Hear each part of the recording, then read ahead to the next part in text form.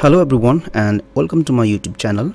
And in this video today we will see how to download and install internet download manager extension for google chrome. If you will find this video helpful then please like share and subscribe to my youtube channel for more tips and tricks.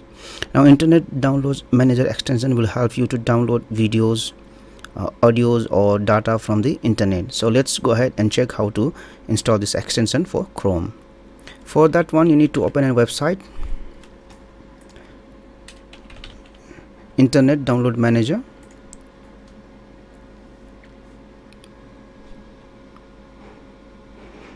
So this is the website which I which you need to open internet download manager.com once you open the website click on this download link here. And again click on this download internet download manager now now you can see the download process has started and it's finished. So once the uh, download process has finished you need to click on this one and install the application. Click on yes. So what this will do is it will install the application. Now for me I have already installed the application so I will just exit this uh, uh, installation. So once you install this internet download manager what you will see you will see the extension. You will see the icon on the desktop. Open this icon. Click on downloads and again click on options. Now you need to make sure that this option is selected here. Use advanced browser integration. And if you are going to install this uh, extension for chrome make sure that google chrome is selected. Click on ok. Once this is done then what you need to do is now you need to install the extension for this internet download manager for google chrome. So for that what what you need to do is you need to open c drive at first program files and you need to go to internet download manager. And we will look for an extension here which is called idmg ce extension. So let me just uh, restore this window.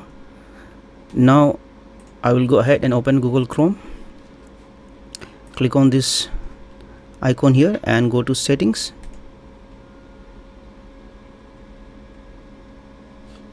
Now open extensions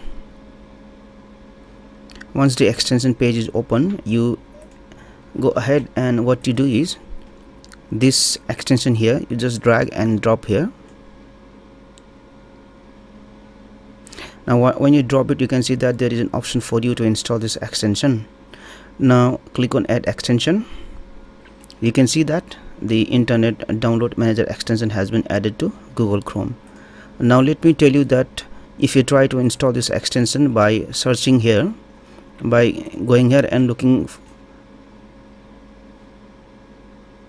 so if you try to install this extension by going to google uh, web store then whatever the extension for you will find for internet download manager those will not work.